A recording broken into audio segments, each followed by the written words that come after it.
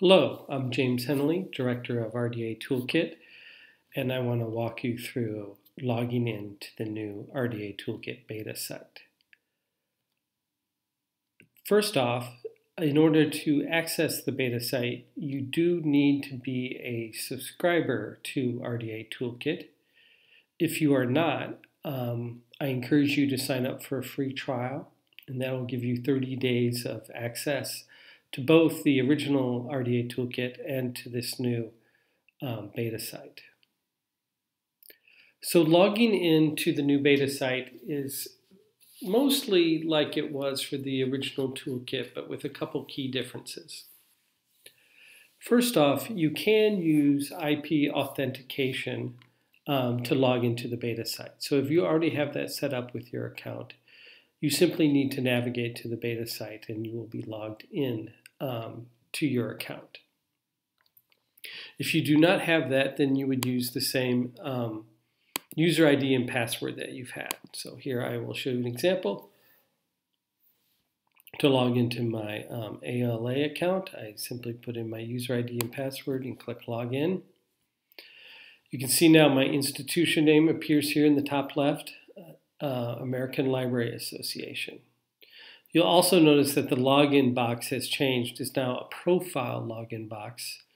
The background color is dark blue and the button is light blue. Many of the features and functionality um, in the new beta site require that you be logged into a profile in order to use them. So we strongly encourage everyone to um, log into their profile, or if they don't have one, to create one. You can create a profile by clicking on this profile button here at the upper right and just go down to create profile account. Um, during this initial beta period, we'll, we still have um, our, our, our backend admin system attached to the original toolkit. So uh, I encourage you to use the original toolkit to update your profile or to create a profile um, at present because it'll be a little a lot more um, reliable and and will process a lot quicker if you do it that way. You notice here we have logout and logout institution buttons. The logout institution button is for those people with um, IP authentication. This logout institution button will clear the um, the user seat for your colleagues. It will free it up right away in case you have um, colleagues who are trying to access the toolkit. So the main new feature, though, that we added to um, the login is that we eliminated the double login of logging into your account and then your profile.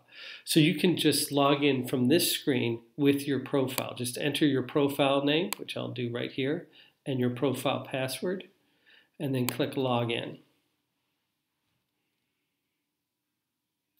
And it didn't work. It should work. Let's try it one more time. There it goes. So um, you can see I'm fully logged in now. My institution name is up here, American Library Association. You can see my name is here above my profile. I can manage my profile. And of course it says, welcome back, James Hennelly. And it's showing me um, some of the uh, instructions that I've recently viewed, etc. So um, that's kind of how the login goes. The one aspect of this profile login that's a little tricky is that all your profile names now have to be unique. In the past, a lot of people used kind of very, um, used their first name or their last name or some kind of very um, common type of uh, uh, name for their profile login. And so people would put Robert or Samantha, Marie. Um, and we would have a lot of duplicate profile name. We had a lot of duplicate profile names like that. So you want to make sure your profile name is unique um, because that's the only way we can make this profile login work. So I do encourage you to go to your profile in the here the original toolkit site if you um, go in and you can either create a profile or log into your um, old profile and you want to make sure you uh, if you if you're logging to your old profile and you scroll to the uh, bottom of this screen, you'll see a, a, space there to make changes to your login. You want to make sure that profile name is unique. Um, if you have any problems logging in with your profile or changing your profile name to something unique, do contact us at rdatoolkit at ala.org and we will help you resolve that problem quickly. Thank you. I hope you found this video helpful.